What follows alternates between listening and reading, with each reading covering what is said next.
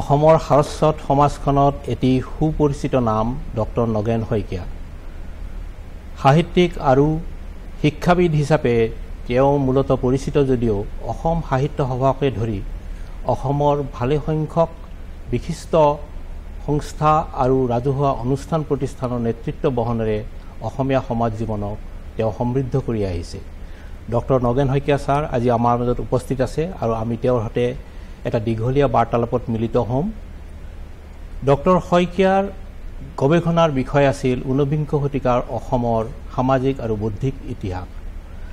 কিন্তু তেওঁৰ কৌতূহল আৰু তেওঁৰ সাহিত্য চৰ্চা আৰু অনুশীলনে আধুনিক অসমীয়া সাহিত্যৰ নানা ক্ষেত্ৰ সামৰি লৈছে। তেওঁ অসমীয়া মানুহৰ ইতিহাসত অসমীয়া জাতিৰ ভাষিক সাংস্কৃতিক আৰু নৃগোষ্ঠীয় পৰিচয়ৰ সন্ধান কৰিছে। তেওঁ গল্পকাৰ হিচাপেও পৰিচিত।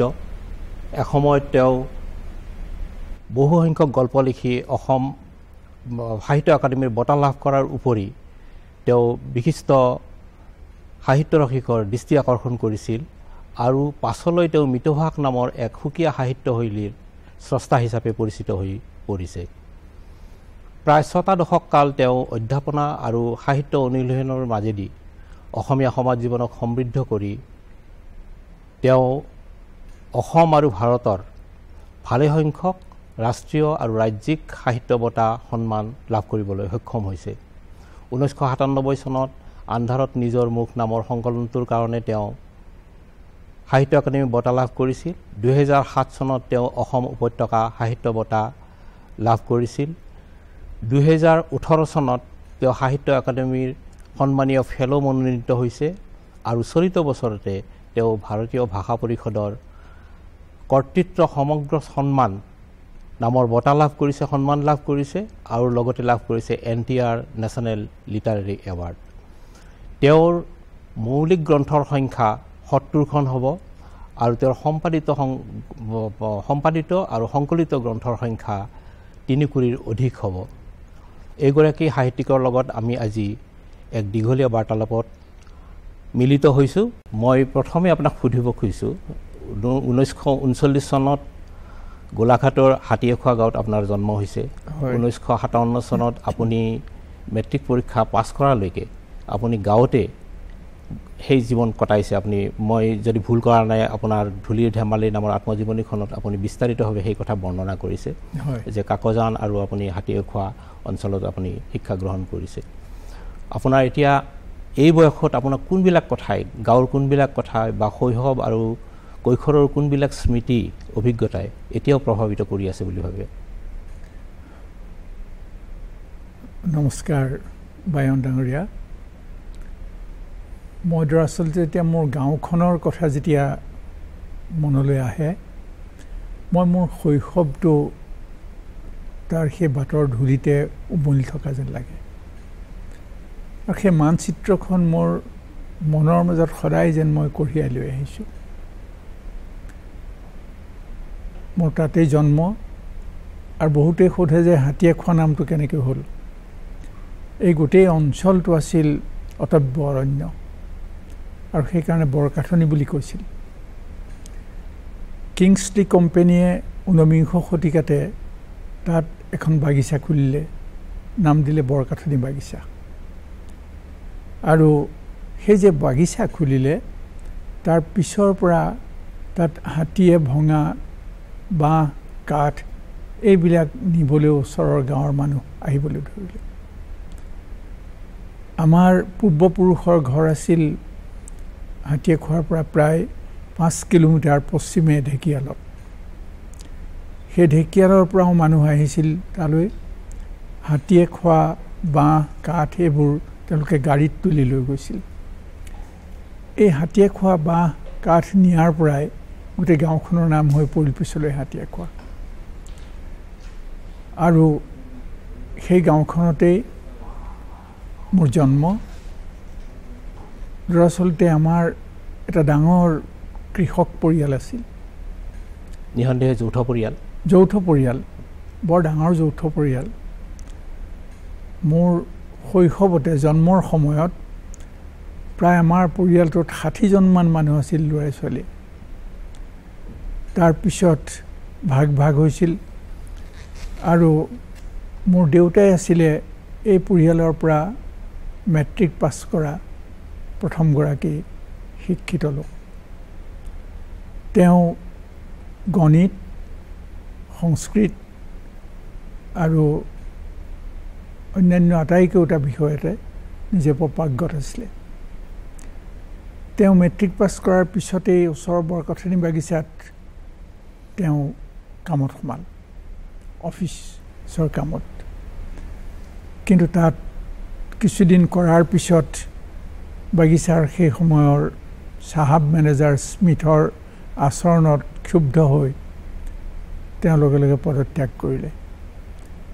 স্মিথে তেওঁক এসপ্তাহমানৰ পিছত পুনৰ চিঠি দি মাতিছিল নগ'ল। তাৰ পৰিৱৰ্তে আমাৰ গাঁৱৰ মূৰতে এখন এম ই স্কুল আৰম্ভ কৰিলে। সেই গোটেই অঞ্চলটোত স্কুল নাছিল। তেতিয়া ঢেকীয়ালতো স্কুল আৰম্ভ হোৱা নাছিল কমাৰবন্ধাটো আৰম্ভ হোৱা নাছিল কেৱল ডেৰগাঁও আৰু গোলাঘাটত স্কুল আছিল। তেতিয়া আপোনাৰ জন্ম হৈছে? মোৰ জন্ম হোৱা নাই তেতিয়া। ঊনৈছশ ত্ৰিছ চনত তেখেতে তাত সেই স্কুলখন স্থাপন কৰিলে। আৰু তাত আৰু দুজন শিক্ষক নিয়োগ কৰিলে। তেখেতে প্ৰধান শিক্ষকো আৰু স্বত্বাধিকাৰীও। গতিকে মই এটা শিক্ষকৰ পৰিয়ালতেই জন্মগ্ৰহণ কৰিলোঁ। আৰু দেউতা শিক্ষক হোৱা বাবেই আমাৰ পৰিয়ালটো অলপমান একে ঠাইতে থাকিও বেলেগ এটা তেখেতে গঢ় দিব পাৰিছিলে আমাৰ এতিয়া মোৰ মনত পৰে যে সেই গাঁওখনতেই মই মোৰ শৈশৱ মোৰ কৈশোৰ আৰু মোৰ প্ৰাক যৌৱন মই তাতেই কটালোঁ। হয়। আপোনাৰ আপুনি যেতিয়া স্নাতক ডিগ্ৰী লাভ কৰে আপোনাৰ তেতিয়া ঊনৈছশ এষষ্ঠি চনত তেতিয়া আপোনাৰ বাইছ বছৰ বয়স হৈছে। আপুনি তাৰ পাছতে আপুনি শিক্ষকতা সাহিত্য চৰ্চা আৰু লগতে আপুনি সাংবাদিকতাও চমু সময়ৰ কাৰণে আপুনি জড়িত হৈ পৰিছিল। আপুনি এনেকুৱা এটা গাঁৱৰ পৰিৱেশৰ পৰা আহিছে আহি আপুনি এনেকুৱা এটা শিক্ষাসদী জীৱন যেতিয়া আপুনি বাছি ল'লে এইটো আপোনাৰ সচেতন সিদ্ধান্ত আছিলনে বা আপোনাৰ পাৰিবাৰিক সূত্ৰে আপোনাক এনেধৰণৰ এটা সিদ্ধান্তত উপনীত কৰাইছিল? আমাৰ দিনত দৰাচলতে শিক্ষকসকলে আছিল আদৰ্শ নায়ক স্বৰূপ আৰু মোৰ দেউতা নিজে এজন আদৰ্শ শিক্ষক আছিলে। গতিকে শিক্ষক হোৱাৰ হাবিয়াসটো বোধকৰ মোৰ ভিতৰত শৈশৱৰ পৰাই সোমাইছিল। আছিলে। দ্বিতীয়তে মই দেখিছিলোঁ যে আমাৰ গাঁৱলৈ যিসকল লোক আহিছিল ডাঙৰ ডাঙৰ মানুহ আহিছিল সেই সময়ত। বাগ্মীবৰ নীলমণি ফুকন মিত্ৰদেৱ মহন্ত এইসকল লোকক মই নিচেই সৰুৰে পৰা দেখিছোঁ। আৰু আমাৰ মিত্ৰদেৱ মহন্তক তেখেতক সকলোৱে জানে আৰু তেখেতে আমাৰ গাঁৱত এটা পুথিভঁৰাল খুলিবৰ কাৰণে এটা নাম দিলে পূৰ্ণিমা পুথিভঁৰাল। মোৰ একেবাৰে শিশুকাল। তেখেত গোলাঘাট হাই হায়াৰ যিখন বেজবৰুৱা হাইস্কুল সেই হাইস্কুলৰ হেডমাষ্টাৰ আছিলে। আৰু প্ৰত্যেক শনিবাৰে চাইকেল মাৰি তেখেত আমাৰ গাঁৱলৈ আহিছিলে। আমাৰ গা গাঁও ঘৰৰ গাতে লাগি থকা ডিচিয়াল সত্ৰত আছিলহি একেবাৰে ওচৰা ওচৰি। ডিচিয়াল সত্ৰখন আমাৰো সত্ৰ। আৰু তেখেত আহিলেই দেউতাক খবৰ দিছিল। দেউতা আহিছিলে আৰু দুয়ো বহুত সময় তাতে কথা বতৰা পাতিছিল লগত ময়ো আহিছিলোঁ। মোক সেই শৈশৱতে মিত্ৰদেৱ মহন্ত ছাৰে আবৃত্তি কৰিবলৈ শিকাইছিল। গতিকে মই এইসকলৰ উপৰিও দেউতাৰ নিজৰ এটা লাইব্ৰেৰী আছিল। স্কুলত লাইব্ৰেৰী আছিলে ঘৰৰ লাইব্ৰেৰীটোতো ৰামায়ণ মহাভাৰতৰ পৰা আৰম্ভ কৰি বিশেষকৈ কৃতিবাসী ৰামায়ণ কাশীদাসী মহাভাৰত ছপা ৰামায়ণ আৰু হেৰি পোৱা হোৱা নাছিল তেতিয়া। কাৰণ ছপা ৰামায়ণখন যদিও ঊনৈছশ নিৰান্নব্বৈ চনতে আমাৰ ছপা হৈছিল ওলাইছিল। কিন্তু সেইখন মানে মাধৱ কণ্ডলী মাধৱ কণ্ডলী ৰামায়ণ সেইখন পোৱা হোৱা নাছিল সেইখন দুষ্প্ৰাপ্য হৈ গ'ল। গতিকে কাশীদাসী ৰামায়ণ আৰু কৃতিবাসী ৰামায়ণ এইবোৰ চলিছিলে আৰু আমাৰ ভাগতখন পঢ়িছিলে সাঁচিপতীয়া পুথি। আমাৰ বৰদেউতাৰ ঘৰটো আছিল বৰ ডাঙৰ ঘৰ এটা।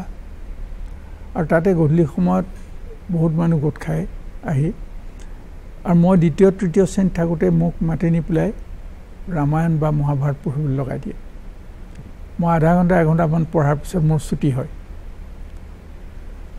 এনেকৈ মোৰ জীৱনত গাঁৱৰ বিভিন্ন পৰিৱেশে যিবোৰ প্ৰভাৱ পেলাইছিলে সেইবিলাকে বোধকৰোঁ মোক শিক্ষাৰ যিদৰে ওচৰ চপাই নিলে তেনেকৈ সাহিত্যৰ ওচৰ চপাই নিলে। শংকৰদেৱৰ ৰচনাৱলীৰ লগত সেই সময়ত পৰিচয় হৈছিল।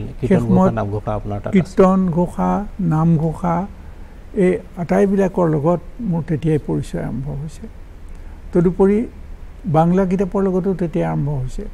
কাৰণ দেউতাই বাকীসকলৰ কাৰণেও কৃতিবাসী ৰামায়ণ কাশীদাসী মহাভাৰত এইবোৰ কলিকতাৰ পৰা অৰ্ডাৰ দি মগাই আনি দিছিলে। লগত সৰু সৰু কিতাপ আহিছিলে। আগুনেৰ পৰশমণি শিশুবোধক ইত্যাদিবোৰ। শিশুবোধকখন মোৰ প্ৰায় মুখস্থ হোৱাৰ নিচিনা হৈছিল। তাত অ আখৰ পৰা আৰম্ভ কৰি একেবাৰে স্ত্ৰীয়ে স্বামীলে দিয়া পত্ৰৰ আৰ্হি আৰু স্বামীয়ে স্ত্ৰীলে দিয়া পত্ৰৰ আৰ্হি পৰ্যন্ত তাত সন্নিৱিষ্ট আছিলে। এইবোৰ বিভিন্ন বস্তু আছিলে। গতিকে মোৰ সেই সময়তে মই গুৰুচৰিত পঢ়ি দিবলগীয়া হৈছিলে। কাৰণ চপলা বুক ষ্টলে গুৰুচৰিত উলিয়াইছিলে। নহয় ৰামচৰণ ঠাকুৰে আৰু দৈতাৰী ঠাকুৰৰ গতিকে সেই গুৰুচৰিত মই পঢ়িছিলোঁ। এনেকৈ শংকৰদেৱৰ লগত মাধৱদেৱৰ লগত মোৰ এটা সম্পৰ্ক কেনেবাকৈ হয়তো মানসিক গঢ় গঢ়ি উঠিছিলে। আৰু মোৰ সেই শৈশৱতে তিনিটা ঘটনা সেই সময়ত ঘটিছিলে। সেই তিনিটাইও মোৰ মনত কিবা প্ৰভাৱ হয়তো পেলাব পাৰে। এক নম্বৰ হ'ল যে সেই সময়ত গান্ধীজীৰ অসহযোগ আন্দোলন চলি আছে। আৰু আমাৰ বংশৰে এগৰাকী এই গান্ধীৰ ভলণ্টিয়াৰ ফৌজত আছিল।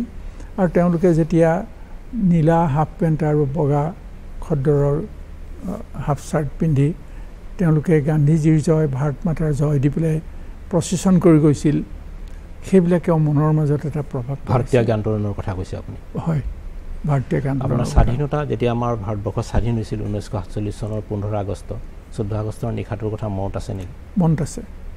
আপুনি তেতিয়া গাঁৱতে আছিলে? মই তেতিয়া গাঁৱতে। কাৰণ সেই সময়ত আমাৰ গাঁৱত গাঁৱৰ মূৰত এজন বাঙালী মানুহে তেওঁ বহুত দিনৰ আগতে অহা হয়। পূব বঙৰ পৰাই আহিছিলে বোধকৰোঁ এখন দোকান দিছিলে। আৰু তেওঁ মিঠাই বিক্ৰী কৰিছিলে সেইকাৰণে তেওঁক চবে মিঠাইৱালা বুলি পেলাই কৈছিলে। যিদিনা ঊনৈছশ সাতচল্লিছ চনৰ পোন্ধৰ আগষ্টৰ দিনা বাৰ বজাত আমাৰ গোটেই গাঁৱৰ মানুহবোৰ আমাৰ সেই দিচিয়াল সত্ৰৰ নামঘৰৰ সন্মুখত থকা নিম গছজোপাৰ তলতে আটাইবোৰ আহি গোট খাইছিলেহি। আমাৰ গাঁৱত নামঘৰ আছিলে সিফালেও ৰাজহুৱা। আৰু তাতে বীৰেশ্বৰ দত্তই মোৰ মনত পৰে যে আমাৰ সত্ৰাধিকাৰৰ হতুৱাই ফ্লেগখন তুলিছিলে নিচানখন তুলিছিলে। আৰু তেওঁ ভাৰত মাতা বাকীবিলাকে জয় দিছিলে। আমি তেতিয়া সৰু সৰু ল'ৰা যদি চব গৈ পেলাই গোট খাই আছোঁ বাৰ বজাত ৰাতি গতিকে সাতচল্লিছ চনৰ পোন্ধৰ আগষ্টৰ সেই ৰাতিটোৰ কথা মোৰ এতিয়া স্পষ্ট মনত আছে। আপুনি কৰ্মজীৱনৰ আৰু আপোনাৰ সমগ্ৰ জীৱনৰ আপুনি সৰহখিনি সময় ডিব্ৰুগড় চহৰত কটাইছে ডিব্ৰুগড় আপোনাৰ প্ৰিয় চহৰ মই যিমান দূৰ জানো। আৰু ডিব্ৰুগড় বিশ্ববিদ্যালয় স্থাপন হোৱাৰ পাছত শৈক্ষিক দিশত গুৱাহাটী চহৰৰ পাছতে ডিব্ৰুগড়ে এটা গুৰুত্ব লাভ কৰিছিল উচ্চ শিক্ষাৰ ক্ষেত্ৰত। আপুনি যেতিয়া সেই চহৰত থাকিবলৈ গৈছিল যোৱা শতিকাৰ ষাঠি আৰু সত্তৰ দশকৰ সময়খিনিত সেই সময়খিনিত ডিব্ৰুগড় চহৰৰ সাংস্কৃতিক বা সামাজিক পৰিৱেশটো কেনেধৰণৰ আছিল? মাজতে মই এষাৰ কথা কওঁ আচলতে মই ডিব্ৰুগড়লৈ বাসত্তৰ চনত গৈছোঁ। স্থায়ীভাৱে ডিব্ৰুগড় বিশ্ববিদ্যালয়লৈ। কিন্তু তাৰ আগলৈকে মোৰ সম্পৰ্ক আছিল যোৰহাট নগৰৰ লগত। বেছিকৈ। আৰু গোলাঘাট নগৰ মোৰ নিচেই ঘৰৰ নগৰ কিন্তু গোলাঘাটতকৈ যোৰহাট নগৰৰ লগত মোৰ সম্পৰ্কটো অধিক আছিল আৰু ঘৰুৱা আছিল। মই ভাবোঁ যে যোৰহাটৰ পৰিৱেশটোৱে মোক বেছি প্ৰভাৱিত কৰিছিল। গোলাঘাটে যে কৰা নাই এনে নহয়। কিন্তু যোৰহাটৰ পৰিৱেশটোৱে তাত সকলোকে পাইছিলোঁ। গোটেইখিনি লেখকক পাইছিলোঁ। সাহিত্য সভাৰ অনুষ্ঠানটো তাতে আছিলে। তদুপৰি মই যোৰহাটত যেতিয়া জে বি কলেজৰ ছাত্ৰ সেই সময়ত শিক্ষকসকলক পাইছোঁ। জে বি কলেজৰ বৰ সমৃদ্ধ পুথিভঁৰালটো পাইছোঁ। নৰ্মাল স্কুলৰ সু হেৰিটো পাইছোঁ পুথিভঁৰালটো এই আটাইবিলাকৰ লগত সম্পৰ্ক স্থাপিত হৈছিলে সেই সময়ত যোৰহাটত থকাৰ সময়ত। ডিম্বেশ্বৰ নেওগৰে পণ্ডিতক ওচৰৰ পৰা দেখিছোঁ। আপুনি মহেশ্বৰ নেওগকো তেতিয়াই পাইছে মহেশ্বৰ নেওগক তাৰ পিছত লগ পাইছোঁ। চৈয়দ আব্দুল মালিকক? চৈয়দ আব্দুল মালিক ছাৰক মই মানে তাৰো আগৰ পৰা। স্কুলত যেতিয়া মই ঢেকিয়াল হাইস্কুলত পঢ়ি থাকোঁ সেই সময়ত ঢেকিয়াল হাইস্কুলৰ আগতে মই কাকডঙা এম ই স্কুলত পঢ়ি থাকোঁতে মালিক ছাৰে ঢেকিয়াল হাইস্কুলত শিক্ষকতা কৰিছিলে। আৰু মালিক ছাৰৰ গল্প গোলাঘাট বেজবৰুৱা স্কুলৰ সেউটিত ওলাইছিলে। সেই গল্প পঢ়ি মানুহজনক চাবলৈ মন গৈছিলে। আৰু মই প্ৰায় চাৰি কিলোমিটাৰ খোজকাঢ়ি গৈ ক্লাছ ছিক্সৰ ল'ৰা এটাই লগত আৰু এজনক লৈ সেই মালিক ছাৰক মই চাবলৈ গৈছিলোঁ। আৰু দেখিছিলোঁ জোপোহা চুলিৰে বৰ ধুনীয়া চাপৰ মানুহ এজন।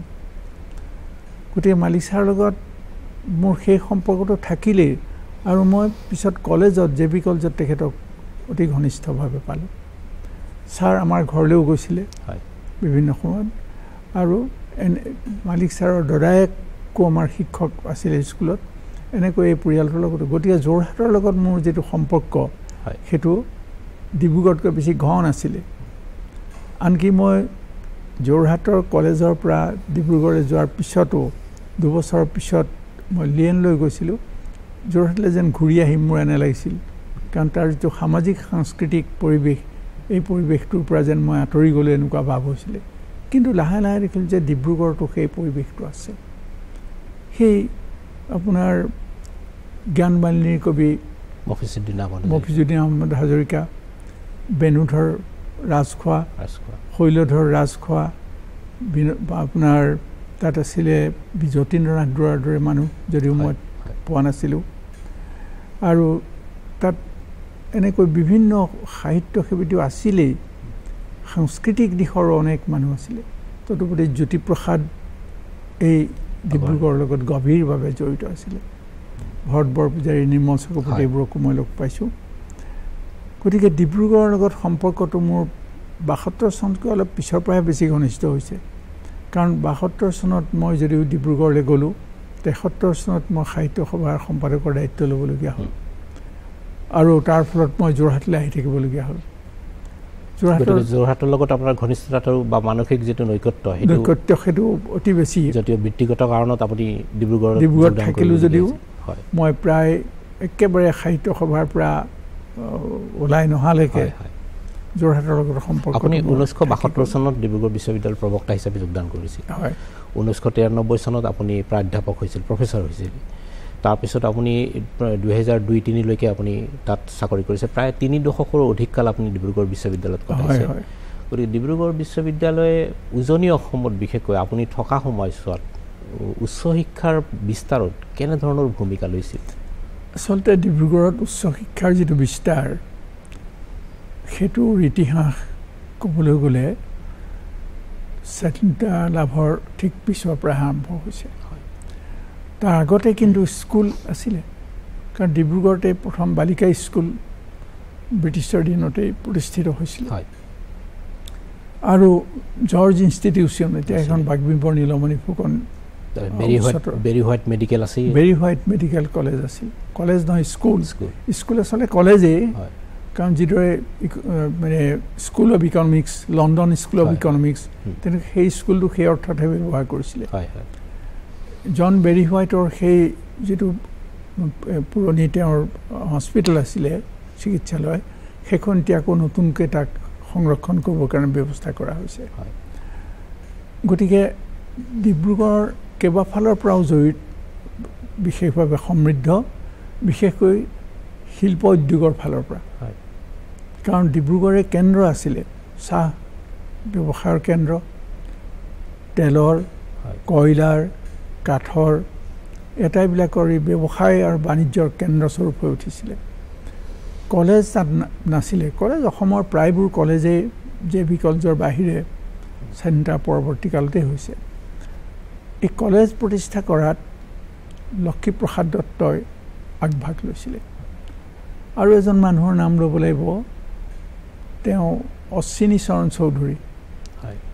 তেওঁ ৰাধা গোবিন্দ বৰুৱাই তাত প্ৰথম বেংকিং ব্যৱস্থা এটা বেংকিং ব্যৱস্থা চালুকীয়া অৱস্থাত হ'লেও ইম্পিৰিয়েল বেংক বুলি পেলাই যিটো বেংক। আছিলে প্ৰথম তাত গ্ৰাহক হৈছিল ৰাধা গোবিন্দ বৰুৱা। হয়। আৰু ৰাধা গোবিন্দ বৰুৱাই তাৰ পৰাই ট্ৰিবিউন উলিয়াইছিল তাৰ আগতে। অৱশ্যে টাইমছ অফ আছাম ওলাইছিল তাৰ পৰা। আৰু বহুতে নাজানে হয়তো যে আলোচনী শব্দটো আজিকালি আমি সকলোৱে ব্যৱহাৰ কৰোঁ। কিন্তু ডিব্ৰুগড়ৰ পৰা ওলোৱা এখন আলোচনীয়ে আলোচনী শব্দটো জনপ্ৰিয় কৰি পেলাইছিল। প্ৰয়োগ জনপ্ৰিয় কৰি তুলিলে। ডিব্ৰুগড়ৰ পৰা ঠিক তেনেকৈ কিছু নতুন বস্তু যে অহা নাই এইটো নহয় হয়। যথেষ্ট বৰঙণি আছে। আৰু বিশেষকৈ আঠচল্লিছ চনলৈকে আঠচল্লিছ ঊনপঞ্চাছ চনলৈকে পঞ্চাছ চনলৈকে প্ৰায় জ্যোতিপ্ৰসাদ আগৰৱালা। তামোলবাৰীত আছিল। হয়। তেওঁ জীৱনৰ শেষ সময়ছোৱা তেওঁ বেছিকৈ কটাইছিল ডিব্ৰুগড় চহৰতে ডিব্ৰুগড়। তেওঁৰ জন্ম তামোলবাৰীতে। হয়। কাৰণ।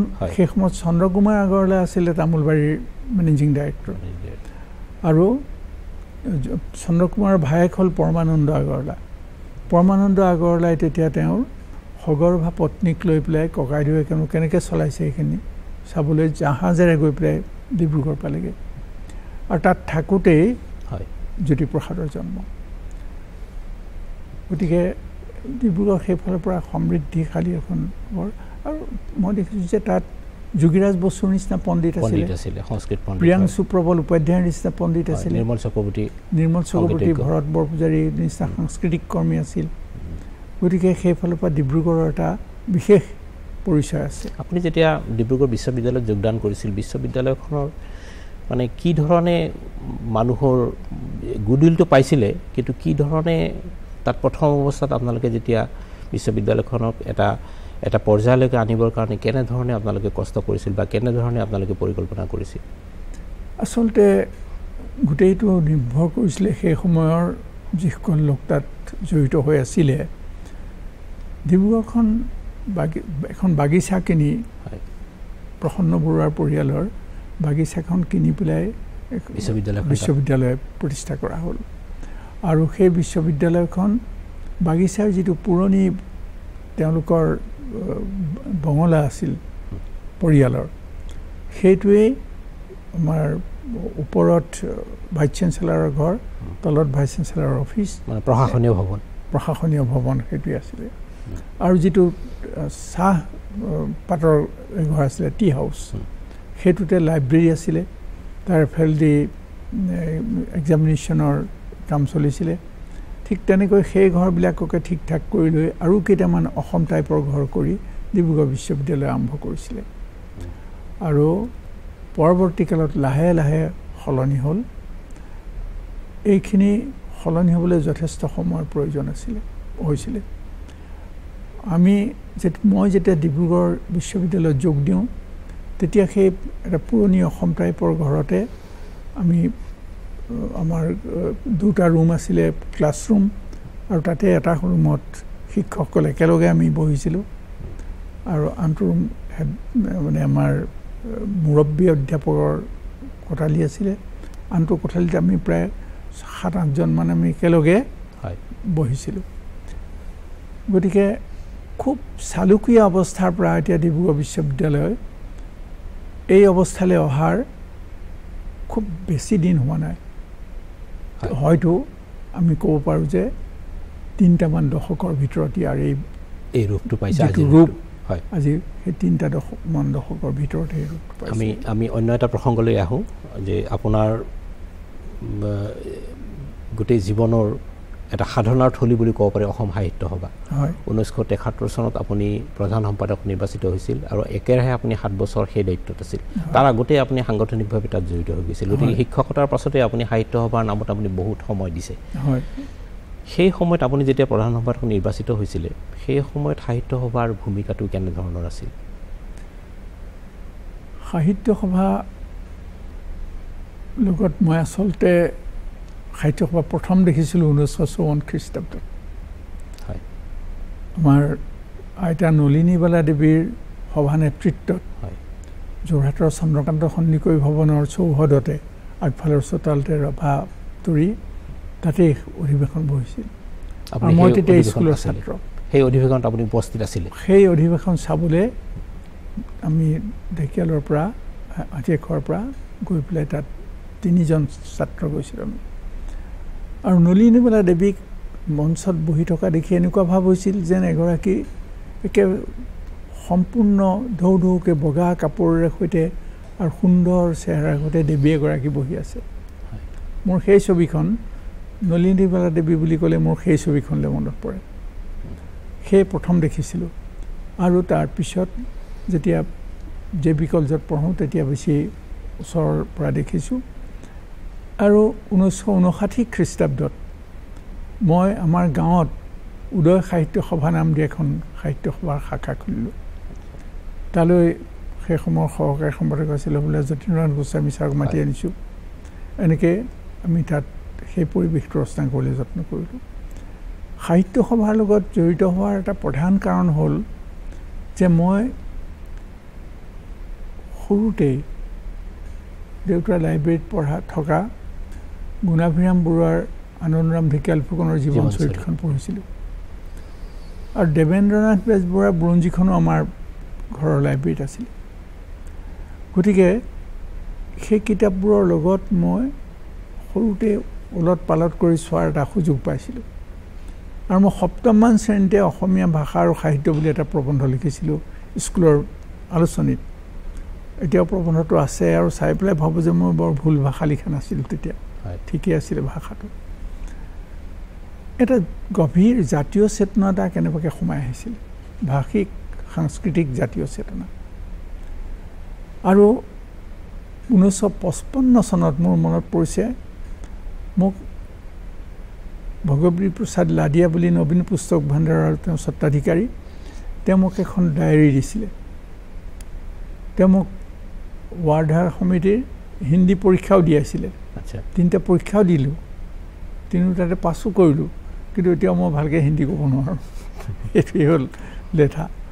কিন্তু সেই যে মোক এখন ঊনৈছশ পঁচপন্ন চনৰ ডায়েৰী এখন দিছিলে সেই ডায়েৰীখনত মই লিখ মইনো কি হ'ব খোজোঁ এই কথাবোৰ তেতিয়া লিখিবলৈ যত্ন কৰিছিলোঁ। আৰু মই ভাবিছিলোঁ যে অসমৰ অসমীয়া ভাষা ৰক্ষা কৰাটো আমাৰ প্ৰধান প্ৰথম কৰ্তব্য। ভৱিষ্যতে যাতে এনেকুৱা ঊনবিংশ শতিকাৰ নিচিনা হ'ব নোৱাৰে। আৰু গোপীনাথ বৰদলৈৰ নামটোৱে খুব গভীৰভাৱে আকৰ্ষণ কৰি আছিলে সৰুৰে পৰাই। আমাৰ ঘৰলৈ সাদিনীয়া অসমীয়া মই স্কুলত পঢ়ি থকা দিনৰ পৰাই আহিছিলে। গতিকে সাদিনীয়া অসমীয়াত যেতিয়া সাহিত্য সভাৰ খবৰ ওলায় সেই খবৰবোৰৰ ওপৰত গোগ ৰাখে গিলিছিলোঁ। আৰু সেই সময়ত নতুন অসমীয়াৰ দেওবৰীয়া সংখ্যাটোকো অকলশৰীয়াকৈ গ্ৰাহক হ'ব পাৰি। সেইটোৰ গ্ৰাহক হৈছিলোঁ মই স্কুলত পঢ়ি থাকোঁতে হাইস্কুলত আৰু তেতিয়া সেইখনৰ পৰাও দেখিছোঁ যে সেই সময়ত মই যথেষ্টখিনি উপকৃত হৈছিলোঁ। নতুন অসমীয়াৰ বোধে সম্পাদক দেৱকান্ত বৰুৱা আছিলে। দেৱকান্ত বৰুৱা নহয়। তেতিয়া নতুন অসমীয়াৰ সম্পাদক বোধকৰ হৰেণ বৰুৱা আছিল। হৰেণ বৰুৱা। আৰু এনেকৈয়ে যে সাহিত্য সভাৰ প্ৰতি অসমীয়া জাতিৰ প্ৰতি যেন এটা দায়বদ্ধতা মোৰ ভিতৰত সোমাই গৈছিল। এতিয়াও সেইটো দায়বদ্ধতাই মোক লগ এৰা দিয়া নাই। আপুনি যিখিনি সময়ত ঊনৈছশ তেসত্তৰ চনত যেতিয়া আপুনি সাহিত্য সভাৰ প্ৰধান সম্পাদকৰ দায়িত্ব লৈছিল সেইখিনি অসমীয়া ভাষা সাহিত্য সংস্কৃতি বা সামগ্ৰিকভাৱে অসমৰ কাৰণে এটা জটিল সময় আছিল। ৰোমান লিপিৰ দাবীত যেতিয়া বড়োসকলে আন্দোলন কৰিছিল তাৰ এটা দুৰ্ভাগ্যজনক পৰিণতি ঘটিছিল। আৰু মাধ্যম আন্দোলনেও এটা অভিযোগ আছে যে মাধ্যম আন্দোলনেও আমাৰ পাৰ্বত্য জিলাৰ অধিবাসীসকলক ক্ৰমে অসমীয়াৰ পৰা আঁতৰাই নিয়াত এটা প্ৰকাৰান্তৰে হ'লেও এটা ইন্ধন যোগাইছিল। সেই সময়ত সাহিত্য সভাৰ আপুনি কৰ্মকৰ্তা এজন হিচাপে কি ধৰণে আপুনি এই পৰিস্থিতিৰ লগত সাহিত্যকৰ ভূমিকাটো নিৰ্ণয় কৰি লৈছে মই আচলতে যত্ন কৰিছিলোঁ যে আমাৰ বিভিন্ন ভাষিক জনগোষ্ঠীসকলক অসমৰ জনগোষ্ঠীসকলৰ দুটা ভাগ এটা ভাগৰ বড়োসকলৰ মাজতো মাতৃভাষা অসমীয়া হয়তো সাম্প্ৰদায়িকভাৱে বড়ো হ'লেও মাতৃভাষা অসমীয়া তেনেকৈ মিচিংসকলৰ মাজত বড়ো মিচিং কাৰ্বি ৰাভা ডিমাচা এনেকৈ গোটেইখিনিৰ মাজত আপুনি দেখিব যে দুটা দুটা ভাগ আছে। এডালৰ মাতৃভাষা অসমীয়া আৰু তেওঁলোক অসমৰ একেবাৰে মূল সুঁতিৰ অন্তৰ্বৃত্তৰ ভিতৰত। আৰু বাকীসকলৰ লগত যে সম্পৰ্ক নাছিল এইটো নহয় কিন্তু মই মই দেখিছোঁ অনুভৱ কৰিছোঁ যে যেতিয়াই সাতচল্লিছ চনৰ পিছত সমগ্ৰ অসমত শিক্ষাৰ প্ৰসাৰ বাঢ়িলে তাৰ ফলত প্ৰত্যেক ঠাইতে তাৰ আগলৈকে স্কুলৰ সংখ্যা খুব কম আছিলে। ভিতৰুৱা অঞ্চলত নাছিলে স্কুল। গতিকে যিসকল বিভিন্ন ভাষিক জনগোষ্ঠীৰ ল'ৰা ছোৱালীও আহি পেলাই অসমীয়া মাধ্যমৰ স্কুলতে পঢ়িছিলে। কিন্তু যেতিয়া তেওঁলোকৰ মাজৰ পৰা এটা শিক্ষিত মধ্যবিত্ত শ্ৰেণী গঢ় লৈ উঠিল তেতিয়াই নিজৰ ভাষা প্ৰতিষ্ঠা কৰাৰ পৰিচয় দিয়াৰ এটা স্বাভাৱিক প্ৰৱণতা এটা গঢ় লৈ উঠিছে। সেইটো মই কেতিয়াও দোষৰ কথা বুলি নাভাবোৱে। মই আজিও ভাবোঁ যে এইটো স্বাভাৱিক খুব স্বাভাৱিক। কিন্তু সেই আকাংক্ষাক সেই জনজাতীয় ভাষিক যিটো আকাংক্ষা বা চেতনাক স্বীকৃতি দিওঁতে সাহিত্য সভাই অলপ পলম কৰিলে পলম কৰিলে। মই সেইবাবে সম্পাদক হৈয়ে প্ৰথম মই এটা প্ৰস্তাৱ দিছিলোঁ দিলোঁ যে আমি এখন লেখক শিবিৰ পাতোঁ। সাদিনীয়া লেখক শিবিৰ। আৰু সেই সাদিনীয়া লেখক শিবিৰৰ প্ৰথম দিনটো অসমৰ থলুৱা ভাষা আৰু সাহিত্য অসমীয়া থলুৱা ভাষাৰ অৱস্থা আৰু সমস্যা। সেই দিনটো ৰাখিছিলোঁ অকল আৰু তালৈ মই বড়ো কাৰ্বি মিচিং ৰাভা ডিমাচা তিৱা দেউৰী এই আটাইকেইটা অনুষ্ঠানৰ তেওঁলোকৰ সভাপতি সম্পাদকসকলক নাইবা প্ৰতিনিধিক নিমন্ত্ৰণ কৰি আনিছিলোঁ। এইটো তেসত্তৰ চনৰ ডিচেম্বৰৰ শেষৰ সপ্তাহটোত। তেতিয়া আজি মই মুকলিকৈ ক'ব খোজোঁ যে আমাৰ সাহিত্য সভাৰ ভিতৰতো হয়তো অনেকে ভাবিছিল যে ভাষাবিলাকক আমি মাতি আনি পেলাই স্বীকৃতি দিয়া হ'ব। মই স্পষ্ট ভাষাৰে কৈছিলোঁ আৰু মই লিখিছিলোঁ যে এই ভাষাবোৰ ইয়াৰ বাহিৰে ক'ত গ্ৰ' কৰিব গঢ় লৈ উঠিব? আজি যদি বড়ো কাৰ্বি মিচিং ৰাভা ডিমাচা তিৱা দেউৰী টাই ইত্যাদি ভাষা গঢ় লৈ উঠিব লাগে অসমৰ মাতৃ গঢ় লৈ উঠিব লাগিব। গতিকে আমি তেওঁলোকক সহায় কৰিব লাগে। আৰু কাইলৈ যিবিলাকে সেই নিজে গঢ় লৈ উঠিব আজি আমি কিয় তেওঁলোকক সহায় নকৰোঁ? মোৰ ভাৱ আছিল সেইটো। আৰু সেইকাৰণে মোৰ সম্পাদকৰ কালচোৱাত মই প্ৰত্যেক জনগোষ্ঠীৰ জাতীয় জীৱনৰ ভাষাৰ পৰিচয়ৰ সৈতে সৰু সৰু পুস্তিকা উলিয়াবলৈ যত্ন কৰিছিলোঁ সাহিত্য সভাৰ পৰা। বড়ো কাৰ্বি মিচিং ৰাভা ডিমাচা তিৱা দেৰুইটাই আনকি কালিন্দী চৰণ ব্ৰহ্ম। যি ব্ৰহ্ম ধৰ্ম আমাৰ বড়ো সমাজত প্ৰচলিত কৰিলে। তেখেতৰ জীৱনী গ্ৰন্থখনো মই এগৰাকী ৰুটে লিখাই পেলাই প্ৰকাশ কৰিছিলোঁ। মই এনেকৈ এই যত্নটো মোৰ ফালে কিন্তু সেইটো এটা অকলশৰীয়া যত্ন নহয় সাহিত্য সভাৰ যত্নই। সকলোৰে সহায় লৈয়ে মই কৰিছিলোঁ। কিন্তু মই ভাবিছিলোঁ যে যদি আমি আৰু অলপমান উদাৰ হ'ব আগতেই পাৰিলোহেঁতেন কিছুমান জটিলতা আৰু সমস্যা কিছুমান জটিলতাৰ সমস্যাৰ পৰা আমি আঁতৰিব পাৰিলোহেঁতেন। সেই সময়খিনিত আপোনাৰ অসম সাহিত্য সভাৰ সভাপতি হিচাপে কেইবাগৰাকীও প্ৰাতস্মৰণীয় অসমীয়া সাহিত্যিক নিৰ্বাচিত হৈছিল। তেওঁলোকৰ অৱদান আজি আৰু অসমৰ ইতিহাসত পৰিণত হৈছে। আপুনি তেওঁলোকক ব্যক্তিগতভাৱেও লগ পাইছিল বা ঘনিষ্ঠতা আছিল সেইবিলাকৰ লগত সেইসকলৰ লগত। যেনে ধৰক ডক্টৰ মহেশ্বৰ নেওগ ডক্টৰ সত্যেন্দ্ৰনাথ শৰ্মা যজ্ঞেশ্বৰ শৰ্মা আৰু সৈয়দ আব্দুল মালিক। বিশেষকৈ এই চাৰিগৰাকী সাহিত্যিক। গতিকে তেওঁলোকৰ লগত আপুনি সাহিত্য সভাৰ যেতিয়া নেতৃত্ব এটা যৌথ নেতৃত্ব আপুনি বহন কৰিছিলে সেইসকলৰ ব্যক্তিত্ব বা তেওঁলোকৰ কৰ্ম প্ৰেৰণা তেওঁলোকৰ কৰ্ম উন্মাদনা কি ধৰণে আপুনি ৰিয়েলাইজ কৰিছিল? কি ধৰণে মানে আপুনি লক্ষ্য কৰিছিল? মই এইসকলক মোৰ জীৱনৰ শিক্ষাগুৰু আৰু শিক্ষাৰ দীক্ষাগুৰু বুলি পেলাই ভাবোঁ। হয়। ডিম্বেশ্বৰ নেওগৰ কথাও মই ভাবোঁ। হয়। ডিম্বেশ্বৰ নেওগ যেতিয়া ঢুকায় তেতিয়া মোৰ ভাৱ হৈছিল যে কাইলৈ অসমীয়া ভাষা সাহিত্যৰ সংকটৰ সময়ত শেষ কথাটো শুনিবলৈ কাৰ ওচৰলৈ যাম। কিন্তু মহেশ্বৰ নায়ক ছাৰ ইতিমধ্যে ওলাই আহিল। মহেশ্বৰ নায়ক ছাৰৰ লগত মই ক্লাছ নাইনতে প্ৰথম এখন চিঠি লিখিছিলোঁ। সেই চিঠিখন হ'ল যে আমাৰ ক্লাছ নাইন টেনৰ অসমীয়া হেৰিয়াত বাল্মীকি মাধৱকলি ৰামায়ণৰ এটা অংশ তুলি দিছিলে মানে হেৰিয়াৰ কথা কৈছে সুগ্ৰীৱ বীৰৰ দায়া বন্তত সমান সুগ্ৰীৱেও তোমাৰ খুৰা হ'লেও তোমাৰ প্ৰতি সমান দায়া বুলি শব্দটো আছে দায়া আছে। মই ছাৰলৈ এখন চিঠি লিখিলোঁ যে দায়া শব্দটোৱে কি বুজায়? দয়া নে কি ছাৰে চিঠিখনৰ উত্তৰ দিলে যে দয়া বা মৰম। সৰু তেতিয়া পষ্ট কাৰ্ড নেওগ ছাৰ আৰু এখন চিঠিৰ কথা কৈ থোৱা এইটো পিছৰ। মই যেতিয়া সহকাৰী সম্পাদক হ'লোঁ ছিক্সটি ছিক্সত তেখেতে মোলৈ এখন চিঠি দিলে যে মোক এইকেইটা বস্তু তুমি সাহিত্য সভাৰ তথ্য বিচাৰি দিয়া। মই বিচাৰি পেলাই এখন চিঠিত দিলোঁ। দিয়াৰ পিছত ছাৰে এখন কাৰ্ড এটা পঠিয়ালে। মৰ্মৰ নগেন তুমি দিয়া চিঠি পালোঁ আৰু মই বিচৰা আটাইকেইটা বস্তুৱেই পালোঁ। খালি তোমাৰ চিঠিখনত দুঠাইত দীৰ্ঘিকাৰ দুটা বেছি হৈ আহিছে। মই ইয়াত থাকিলে সেইকেইটা আলু এঠানি হ'ব বুলি ভাবি এই চিঠিৰ লগতে তোমালৈ ঘূৰাই পঠালোঁ। গতিকে মই খুব সতৰ্ক হ'লোঁ। তেতিয়াৰ পৰা অধিক সতৰ্ক। যাতে ছাৰৰ এই তীক্ষ্ণ চকুৰ পৰা কোনো ভুল সাৰি নাযায়। আৰু ছাৰৰ সেইফালৰ পৰা মই কেইবাটাও প্ৰভাৱ বোধকৰ মোৰ ভিতৰত পৰিব পাৰে ক'ব নোৱাৰোঁ মই। তেখেতৰ যিটো মই শুনিছিলোঁ তেওঁ নেওগ নামটো তেওঁৰ মানে উপাধিত নেওগৰ ওপৰত চন্দ্ৰবিন্দু দিয়াৰ কাৰণে তেওঁ কাৰোবালৈকে লিখিছিলে। যদি চন্দ্ৰবিন্দু দিবৰ ইমানেই ইচ্ছা আছে মোৰ নামটো নামটো আগত দিবা। হয় হয়। গতিকে তেখেতক মই খুব ওচৰৰ পৰা পাইছোঁ।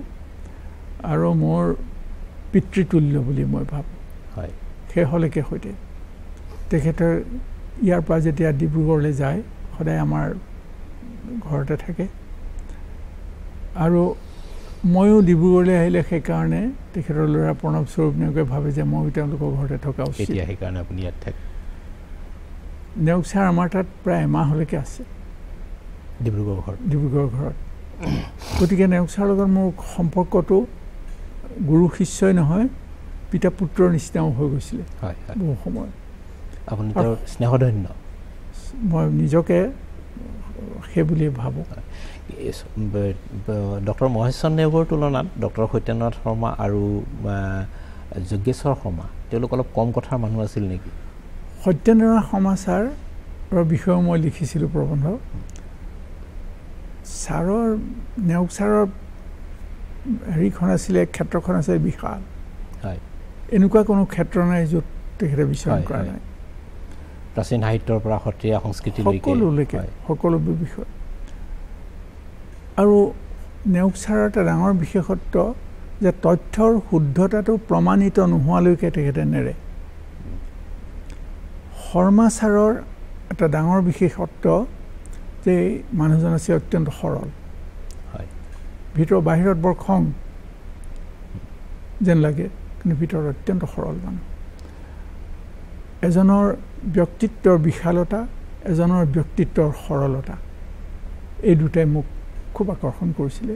মই সত্যন সমাজ ছাৰকো খুব ওচৰৰ পৰা পাইছোঁ আৰু দেখিছোঁ তেখেতৰ যিটো পাণ্ডিত্য সেই পাণ্ডিত্যৰ সন্মুখত সদায় ছাত্ৰ ছাত্ৰীসকল যেন বহি আছে।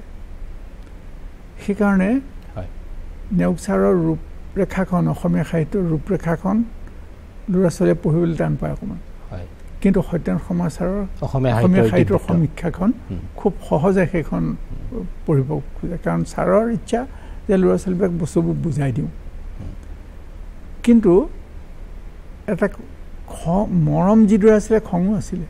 মই সেইটোও পাইছোঁ। মই মোক তেখেতে এবাৰ এটা প্ৰবন্ধ লিখিবলৈ দিলে যেতিয়া এই সাহিত্য একাডেমীৰ এখন গ্ৰন্থ কম্পেৰেটিভ ইণ্ডিয়ান লিটাৰেচাৰ তাৰ অসমীয়া পাৰ্টটোৰ আমাৰ ফক লিটাৰেচাৰৰ বিষয়ে পাৰ্টটো মোক লিখিবলৈ দিলে।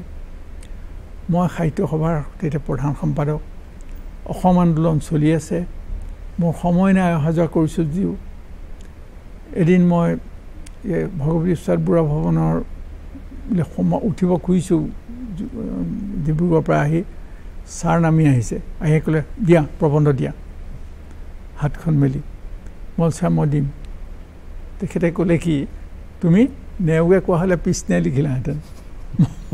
মোৰ এনেকুৱা লাজ লাগিছে যে মই ছাৰৰ আজ্ঞা পালন কৰি মই সেই প্ৰবন্ধ সময়মতে লিখি পেলাই দি দিছোঁ। আৰু এটা দেখিলোঁ যে তেখেতে আৰু এটা বস্তু মোৰ পৰা বিচাৰিছিলে মই দিয়া দেৰি হৈছে। মোলৈ এখন চিঠি লিখিলে। ল'ৰাক বোলে ইয়াত যে মই মাতিছোঁ বুলি ক'বা আহিলেই মোক যাতে দেখা কৰে মোৰ গাও ভাল নহয়। ইহঁতে মোক মই আহিলোঁ আৰু গুচি গ'লোঁ ৰাতি। ইহঁতেও ক'বলৈ পাহৰিলে ময়ো সোধা নাই। ছাৰে মোলৈ এখন চিঠি লিখিলে। ইংৰাজীত লিখিলে। You even did not care to respond to your ailing senior মোৰতো মূৰত আকাশী সৰগ ভাগি পৰা যেন লাগিল। মই লগে লগে ছাৰলৈ টেলিগ্ৰাম কৰিলোঁ। ছাৰ মই গৈ আছোঁ। আৰু বাছৰ পৰা নামিয়ে ৰাতি ৰাতিপুৱা মই ছাৰৰ ঘৰলৈ গৈছোঁ। বেগটো হাততে আছে। গৈ পালোঁ বাইদেৱে দুৱাৰ খুলি দিয়াৰ পিছত ছাৰ ওলাই আহিলে। মই বহি আছিলোঁ এইখিনিতে। ছাৰ আহি সেই একেখন চোপাতে বহিলে। বহি পেলাই মোৰ পিঠিতে হাত দুই তুলি ক'লে বেয়া পালা নেকি মোৰ বেয়া পোৱাৰ এটা ক'ত ঠাই আছে? গতিকে এই সৰলতাটো এতিয়া মানুহৰ মাজত যেন মই নাপাওঁ। ঠিক তেনেকৈ আপুনি কৈছে মালিক ছাৰ মালিক ছাৰক মই সৰুৰে পৰাই পাইছোঁ মই কৈছোঁৱেই। মালিক ছাৰে আনকি তেখেতৰ এখন কিতাপ আৱৰ্তখন মোৰ নামত উচৰ্গা কৰিছে। আৰু মালিক ছাৰ আমাৰ ঘৰলৈও আহিছে ময়ো ছাৰৰ ঘৰলৈ গৈছোঁ। আনকি মই যেতিয়া প্ৰধান সম্পাদক হওঁ মালিক ছাৰ তেতিয়া যোৰহাটত থাকিবলৈ লৈছে। তাৰ আগতে এষাৰ কথা ক'ব লাগিব যে মালিক ছাৰ এতিয়া নাহৰণিৰ পৰাই অহা যোৱা কৰিছিলে মই তেতিয়া প্ৰধান সম্পাদক আৰু সহকাৰী সম্পাদক আৰু মালিক ছাৰ প্ৰধান সম্পাদক।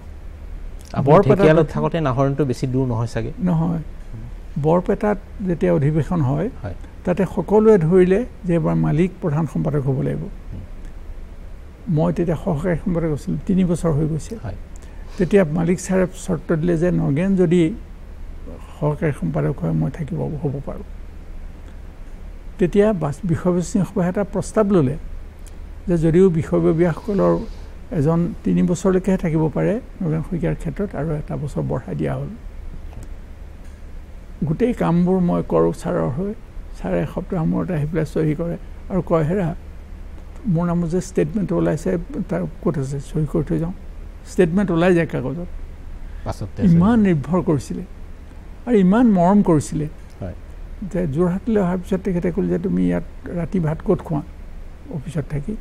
মই ইহঁতে কৰি দিয়ে মোৰ তাত খাবা ওচৰতে। এই সম্পৰ্ক আছিলে। হয়। আপুনি ঊনৈছশ সাতান্নব্বৈ চনত অসম সাহিত্য সভাৰ সভাপতি নিৰ্বাচিত হৈছিল আৰু একেৰাহে দুটা বছৰ আপুনি সেই দায়িত্বত আছিল। সেইখিনি অত্যন্ত গুৰুত্বপূৰ্ণ সময়। আৰু সেই সময়খিনিৰ পৰাই আমাৰ আমি অসম আন্দোলনৰ পাছৰ পৰাই দেখিছোঁ এই প্ৰৱণতাটো যে অসমীয়া মানুহৰ ভাষিক আৰু আত্মপৰিচয়ৰ যিটো সংকট এইটো ক্ৰমে জটিল হৈ আহিছে যেন মাজে মাজে সমাধানৰ বাহিৰলৈকে যাব খোজে। আপুনি যি সময়ত দায়িত্ব লৈছিল একবিংশ শতিকাৰ ঠিক আগমুহূৰ্তত যে সাহিত্য সভাৰ যিটো প্ৰাসংগিকতা আৰু গুৰুত্ব অসমীয়া সমাজত বা বৃহত্তৰ অসমখনত যেন লাহে লাহে তাৰ প্ৰাসংগিকতাটো তাৰ গুৰুত্বটো যেন নাইকিয়া হৈ আহিবলৈ ধৰিছে। সেই সময়ত আপোনাৰ কেনেকুৱা লাগিছিল? আপোনাৰ তেনেকুৱা এটা অনুভৱ নহয় নেকি? মোৰ কাৰণ আপুনি সত্তৰ দশকত দেখিছে যি সময়ত সাহিত্য সভাৰ সভাপতি মহেশ্বৰ নেওগ বা সত্যেন শৰ্মা বা অম্বিকাগিৰি ৰায়চৌধুৰী তাৰো আগত তেওঁলোকে কি কয় অসমৰ মানুহে? হয়। যেতিয়া আমি বাতৰি কাকতত সেইবিলাক অভিভাষণ আমি ফুল হেৰিত ছপাওঁ তেতিয়া নেক্সট দিনা দ্বিতীয় দিনা মানে তাক পঢ়িবৰ কাৰণে উদ্গ্ৰীৱ হৈ থাকে মানুহে।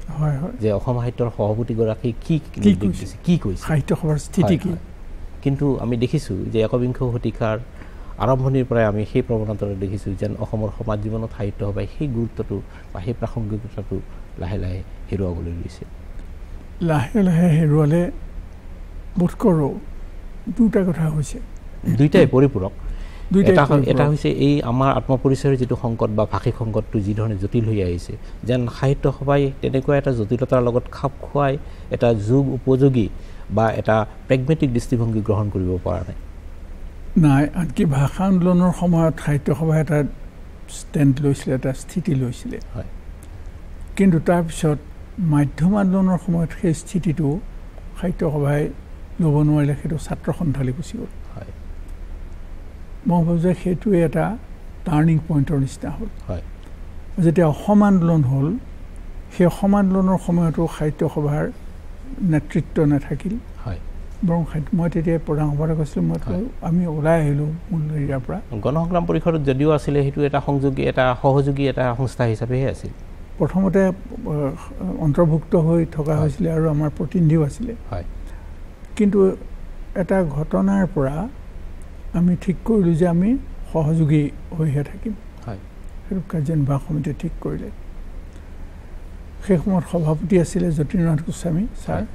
আৰু মই আছিলোঁ প্ৰধান সম্পাদক।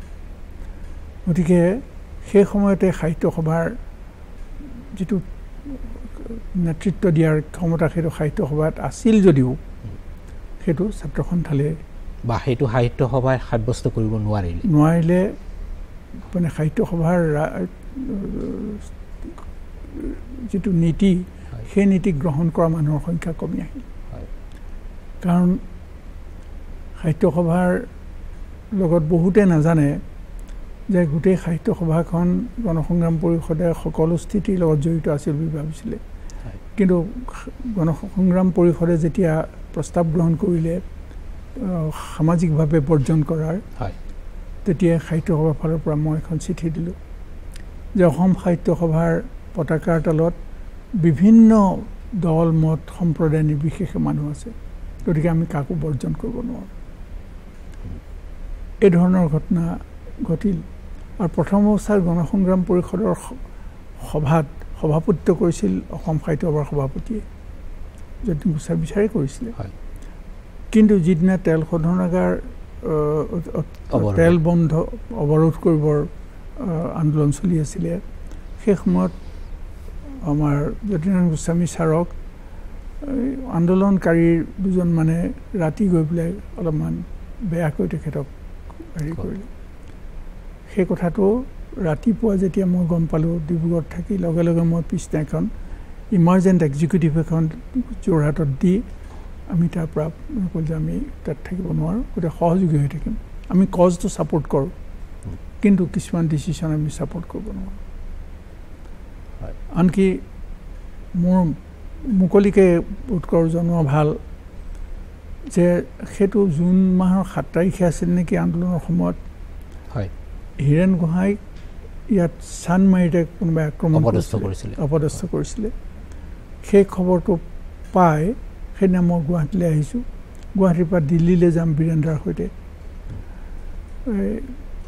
ভট্টাচাৰ্যৰ সৈতে যাম। মানে এম পিসকলক আমাৰ ফালৰ পৰা আমি ক'মগৈ এই আমাৰ আন্দোলনটোৰ সাৰ প্ৰয়োজনীয়তা সম্পৰ্কে। তেতিয়া মই ক'লোঁ যে গণসংগ্ৰাম পৰিষদৰ মানুহ বহি আছে যে এইটো আপোনালোকে আজিয়েই গৰিহণা দিয়ক। এইটো কোনো প্ৰকাৰে গ্ৰহণীয় নহয় মানৱীয়তাৰ ফালৰ পৰা এইটো গ্ৰহণীয় নহয়। তেতিয়া এজন সদস্যই মই নাম নকওঁ আৰু ক'লে যে অসমীয়া মানুহে বিছ বছৰলৈ মানৱীয়তা বাদ দিব লাগিব। এই কথা শুনাৰ পিছত ক'ল যে দোষ নধৰিব মই কিন্তু আজি এইটো প্ৰতিবাদ কৰি জনাম সাহিত্য সভাৰ ফালৰ পৰা। মই দিয়া প্ৰতিবাদটো পিছদিনা দৈনিক অসমত ওলাইছে। হয়। আৰু আমাৰ নীলমণি ফুকনে কবি নীলমণি ফুকনে পিছদিনা মোক টেলিফোন কৰি কৈছে এইটো খুব ভাল কাম কৰিলে।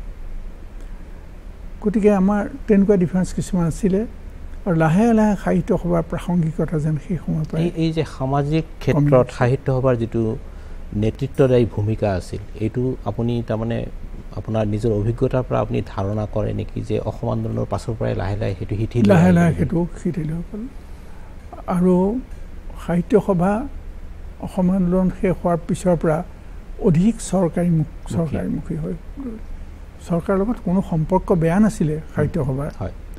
কিন্তু এতিয়া যেন অধিক তাৰপিছৰ পৰা লাহে লাহে বেছি চৰকাৰী প্ৰৱণতাটো কিয় হ'ল? যে সাহিত্য সভাৰ বিত্তৰ প্ৰয়োজন হয় অধিৱেশনৰ কাৰণে। এইটো হয় এইটো কাৰণত যে তাৰ পাছত অধিৱেশনবিলাক বেছি জাক জমক হ'বলৈ ধৰিলে বা নতুবা এনেকুৱাও নেকি যে আগত আপুনি যিখিনি সময়ৰ কথা আমি আলোচনা কৰিছোঁ তাৰ আগতে আমাৰ ৰাইজৰ যি ধৰণৰ দান বৰঙণি বা অনুদানৰ হেৰিটো আছিলে সেই প্ৰৱণতাটো লাহে লাহে মানুহৰ মাজত উৎসাহটো কমি আহিল নেকি? উৎসাহটো কিছু পৰিমাণে মানে বিশেষকৈ খুব মানে প্ৰতিষ্ঠিত লেখকসকল কিছু পৰিমাণে যেন অনীহা হ'ল তেওঁলোকৰ। এনেকুৱা এটা ভাৱ হয় মোৰ।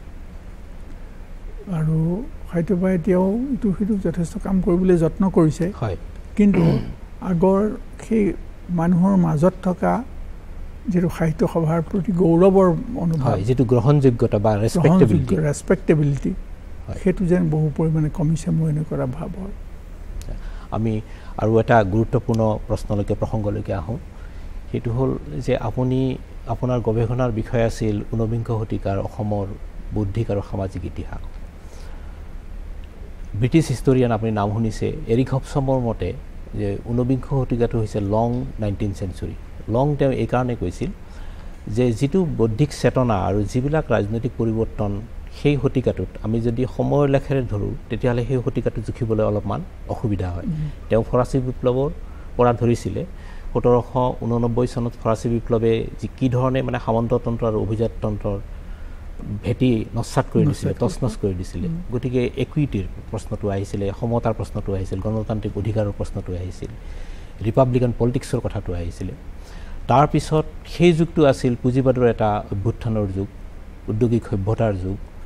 আৰু তাৰ লগে লগে সাম্ৰাজ্যবাদ সাম্ৰাজ্য বিস্তাৰ ইউৰোপীয় সাম্ৰাজ্য বিস্তাৰে এটা এটা এটা তুংগত উঠিছিলে সেই শতিকাটোৱে আৰু প্ৰথম মহাসমৰৰ আৰম্ভণিত অৰ্থাৎ প্ৰথম মহাসমাৰে সাম্ৰাজ্যৰ যিটো বিস্তাৰ তাৰ এটা সীমা বান্ধি দিছিলে।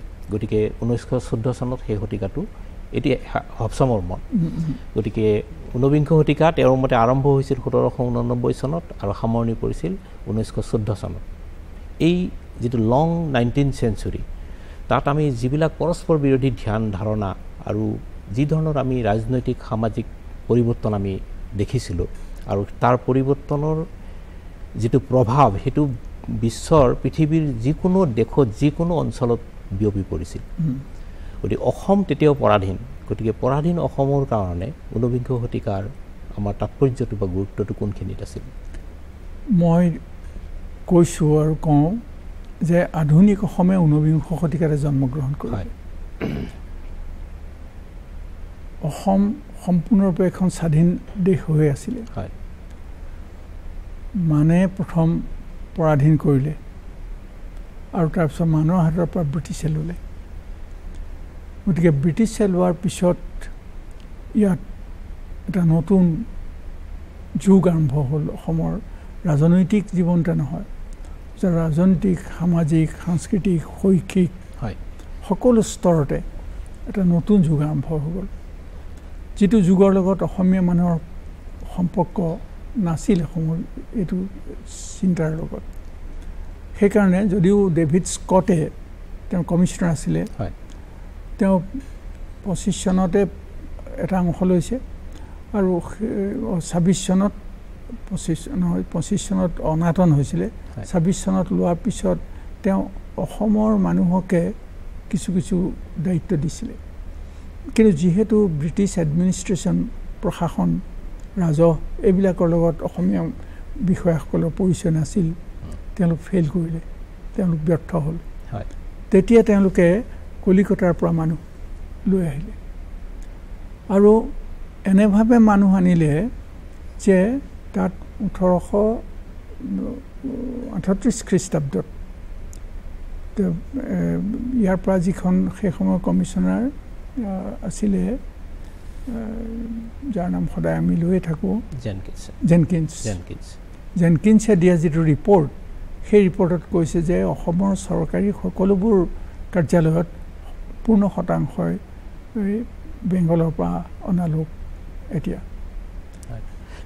জন মেকছে টপ'গ্ৰাফি অফ আছামত এই কথাটো কৈছিল যে অসমীয়া মানুহ অলপ পৰিশ্ৰম বিমুখ সেই কথাটো।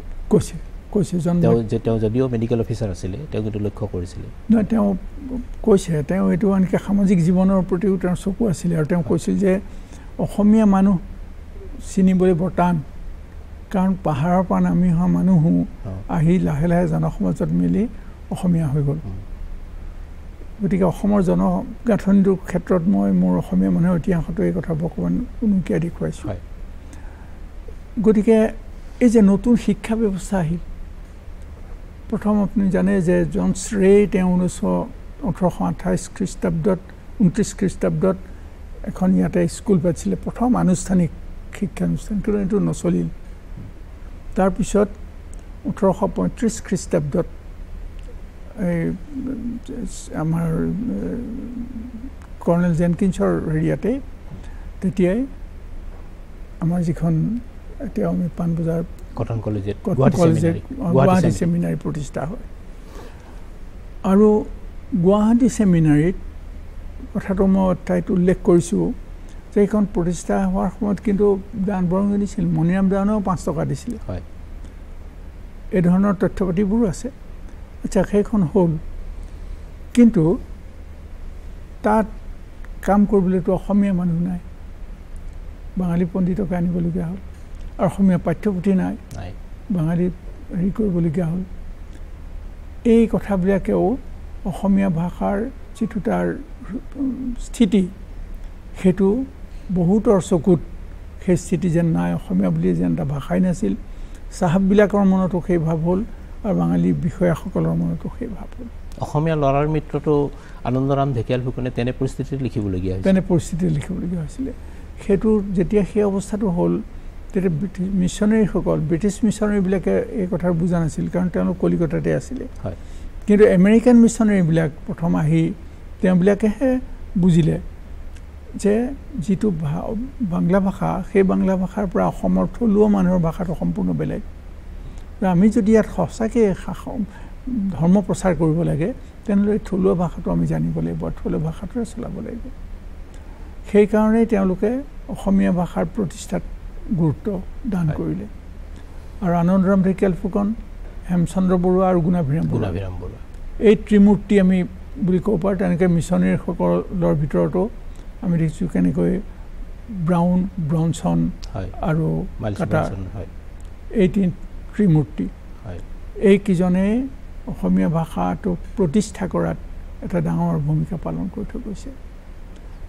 ঊনবিংশ শতিকাৰ শেষাৰ্ধত আনন্দৰাম ঢেকীয়াল ফুকন গুণাভিৰাম বৰুৱা আৰু আপুনি হেমচন্দ্ৰ বৰুৱাকো ধৰিছে। তাৰ পাছতে আহে আমাৰ গুৰুত্বপূৰ্ণ ব্যক্তিত্ব হৈছে লক্ষ্মীনাথ বেজবৰুৱা। হয়। তেওঁ তেতিয়া ইতিমধ্যে জোনাকী উলিয়াইছে। তেওঁৰ কেইবাখনো কিতাপ তেতিয়া প্ৰকাশো হৈছে। পদুমকুলি উপন্যাসো প্ৰকাশ হৈছে।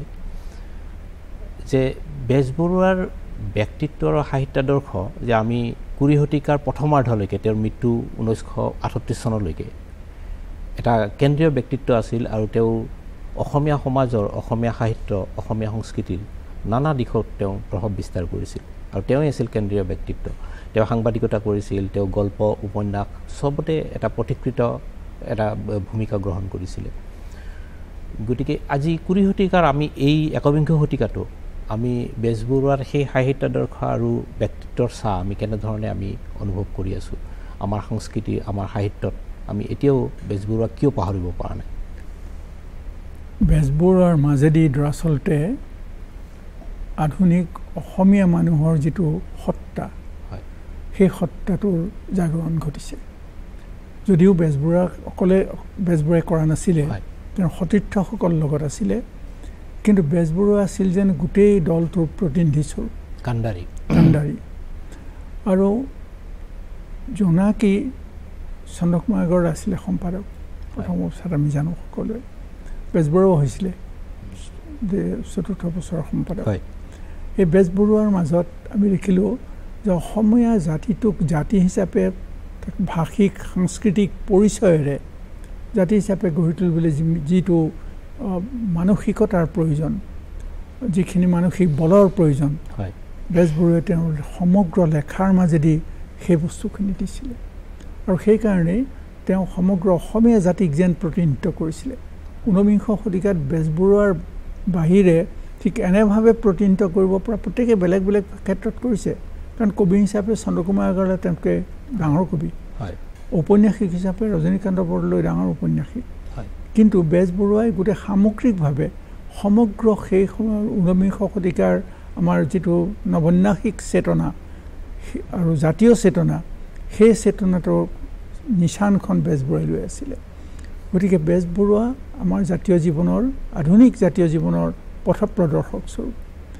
মই আমাৰ সমগ্ৰ জাতীয় জীৱনত তিনিজন পথ প্ৰদৰ্শক আছে বুলি ভাবোঁ যি সঁচাকৈয়ে মানসিকভাৱে আমাক বাট দেখুৱাই থৈ গৈছে। মানসিক বুলি কওক আধ্যাত্মিক বুলি কওক সামাজিক বুলি কওক সাংস্কৃতিক বুলি কওক প্ৰথমতে মান নাম ল'ব লাগিব শ্ৰীমন্ত শংকৰদেৱ।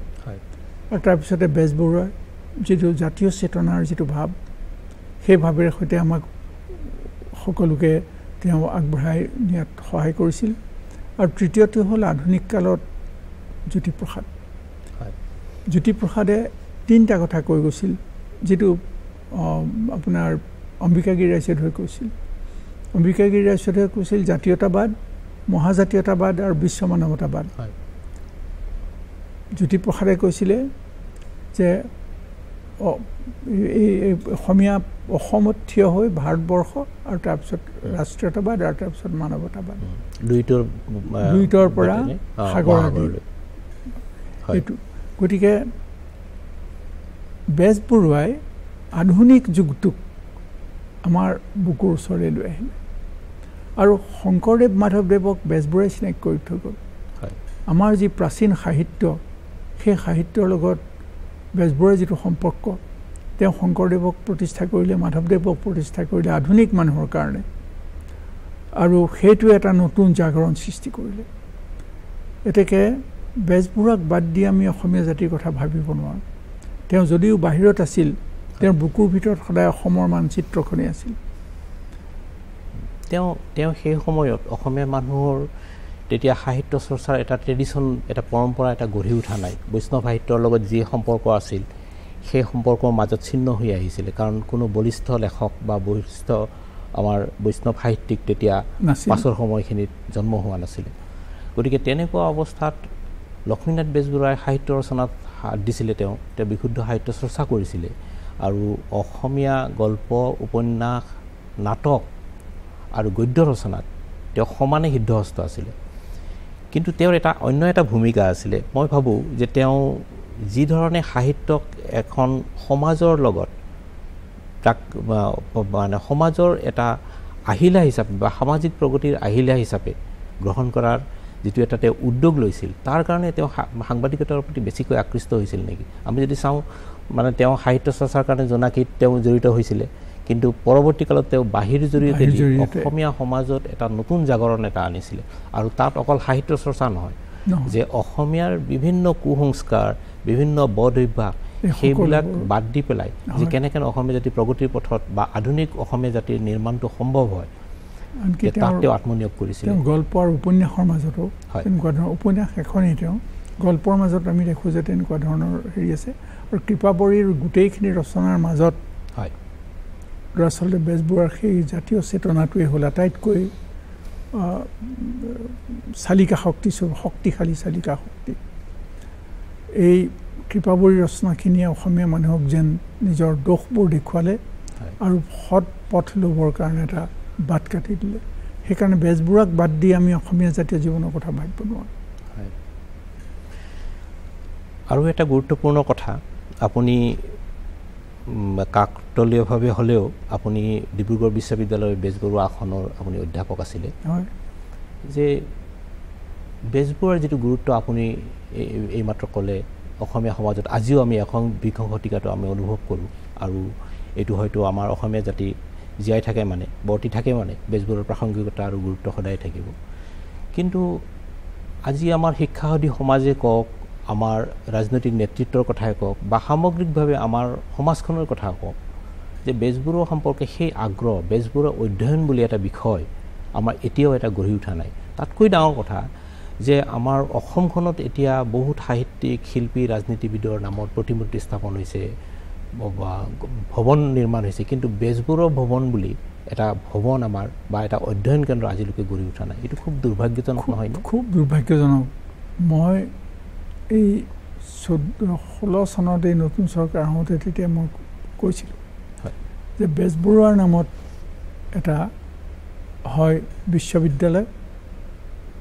নহয় এটা ডাঙৰ কিবা এটা অনুষ্ঠান থাকিব লাগে। তেওঁলোকে সেই গুৰুত্বটো বোধ কৰা আজিও নুবুজিলে। বেজবৰুৱাক অসন্মান কৰা মানে গোটেই জাতীয় সত্তাটোক অসন্মান কৰা। তেওঁ মাজত হিন্দু মুছলমান ব্ৰাহ্মণ অব্ৰাহ্মণ হয়। এইবোৰ কোনো পাৰ্থক্য নাছিলে। সম্পূৰ্ণ আধুনিক মনৰ সম্পূৰ্ণ আধুনিক। মনৰ এজন মানুহ আছিলে। ঊনবিংশ শতিকাত জন্ম লাভ কৰা বেজবৰুৱা একবিংশ শতিকাতো আজিও প্ৰাসংগিক হৈ আছে। গতিকে সেই মানুহজনৰ নামত আমি সঁচাকৈ এটা দুৰ্ভগীয়া জাতি বুলি ক'ব লাগিব। যে আমি যেনেভাৱে তেওঁক প্ৰতিষ্ঠা কৰিব লাগিছিল তেনেভাৱে প্ৰতিষ্ঠা কৰা নাই। ডিব্ৰুগড় বিশ্ববিদ্যালয়ত সেই সময়ত বেজবৰুৱাৰ নামত এটা গ্ৰন্থাগাৰ হ'ল যিটো আমাৰ গ্ৰন্থাগাৰ বেজবৰুৱা গ্ৰন্থাগাৰ। আৰু বেজবৰুৱা চেয়াৰ হ'ল। আৰু বেজবৰুৱাৰ ষ্টাডিৰ কিছু অধ্যয়নৰ কিছু কাম হৈছে। কিন্তু আমি দেখিছোঁ যে সামগ্ৰিকভাৱে আমাৰ জাতীয় জীৱনত আটাইতকৈ ওখ নিচানখন ধৰি থকা মানুহজনক আমি আজিও যেন সেই সন্মান দিব পৰা নাই। এই দুখটো মোৰ সদায় অনুভৱ কৰোঁ। আপুনি আৰু এটা কথা যে বেজবৰুৱাৰ এখন প্ৰামাণ্য জীৱনী গ্ৰন্থ আমাৰ নাই। একমাত্ৰ বোধহয় মই যদি মোৰ স্মৰণৰ ক্ষেত্ৰত যদি ভুল হোৱা নাই যতীন্দ্ৰনাথ গোস্বামী লিখা বেজবৰুৱাৰ জীৱনীখনৰ বাহিৰে আমি এখন দীৰ্ঘ আৰু আজিৰ যুগৰ কাৰণে আজিৰ প্ৰজন্মৰ কাৰণে উপযোগী এখন জীৱনী গ্ৰন্থ আমাৰ নাই। মোৰ ব্যক্তিগত সংগ্ৰহতে ৰবীন্দ্ৰনাথৰ চাৰিখনমান জীৱনী আছে। আৰু সেইকেইখন ইংৰাজী বাংলা আৰু আনকি তেওঁলোকে কিশোৰসকলৰ উপযোগীকৈও ৰবীন্দ্ৰনাথৰ জীৱনী ৰচনা কৰিছে। অজস্ৰ জীৱনী এতিয়াও ৰচনা। প্ৰশান্ত কুমাৰ পালৰতো কেইবা খণ্ডৰ জীৱনী আছেই।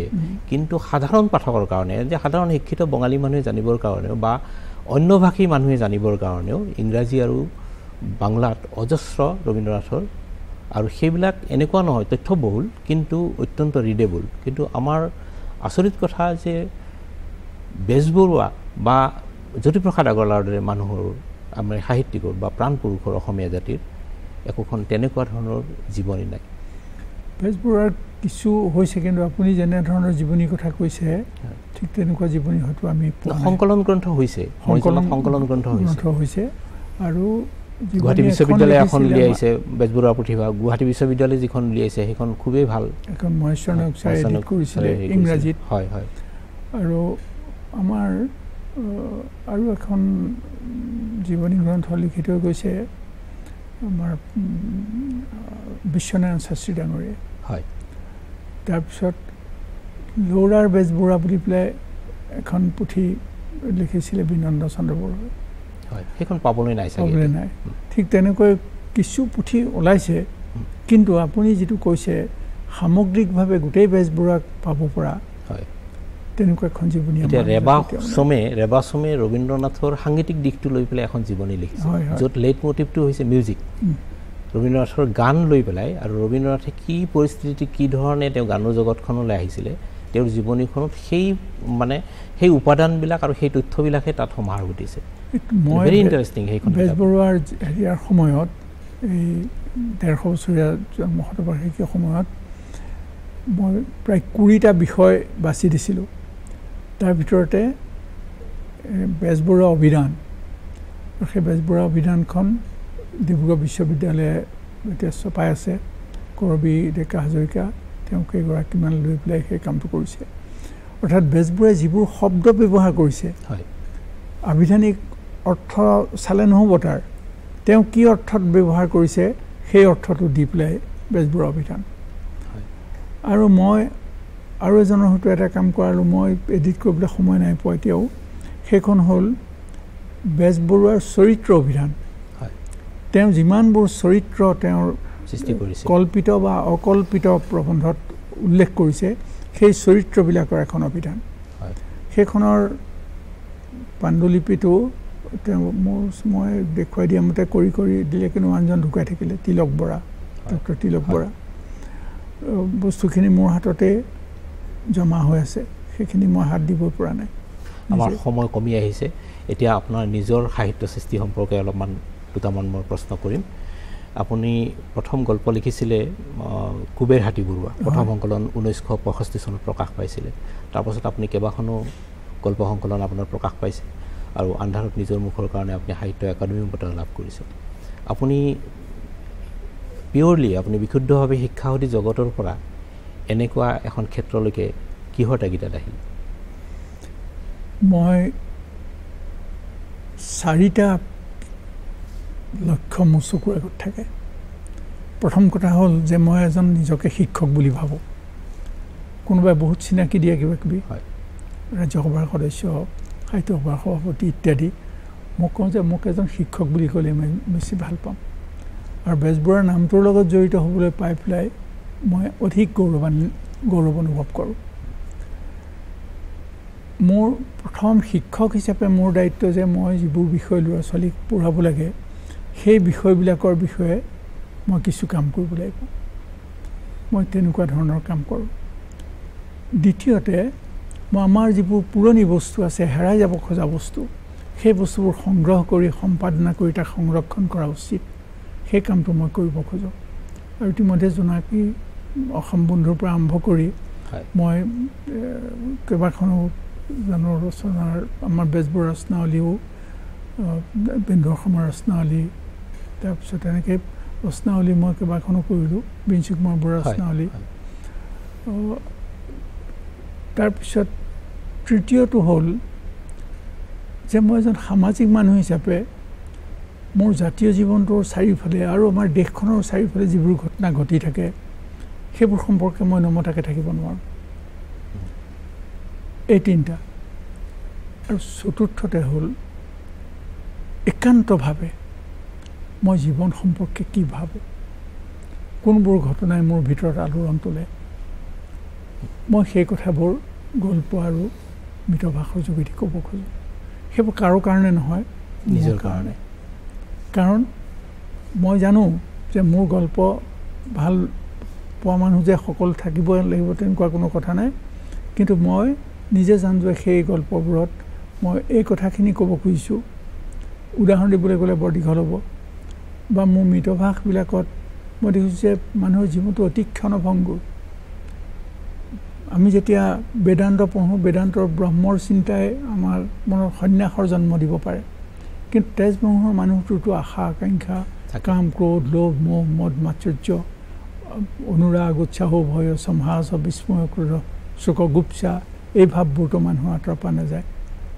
গতিকে সেই মানুহটোৰে সৈতেইতো মই এটা মানুহ।